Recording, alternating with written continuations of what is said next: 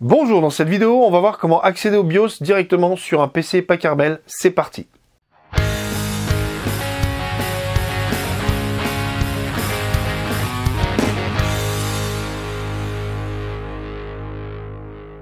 Souvent, quand on répond à vos commentaires, on a la question comment démarrer directement sur le BIOS sur un Packard Bell ou euh, avoir accès à l'ordre de démarrage.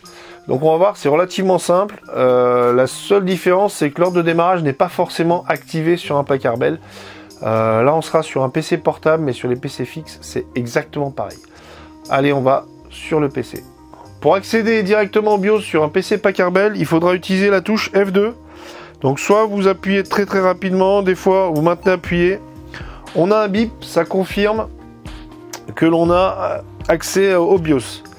Si vous voulez activer le boot order, comme je vous disais, il n'est pas forcément activé de base.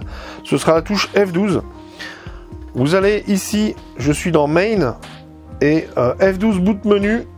Il faut passer en Enable, donc entrée, Enable, F10. On sauvegarde et du coup, si on fait F12, on a accès. De toute façon, on le voit très rapidement. C'est écrit euh, quand on démarre F2 Setup, F12 Boot Order.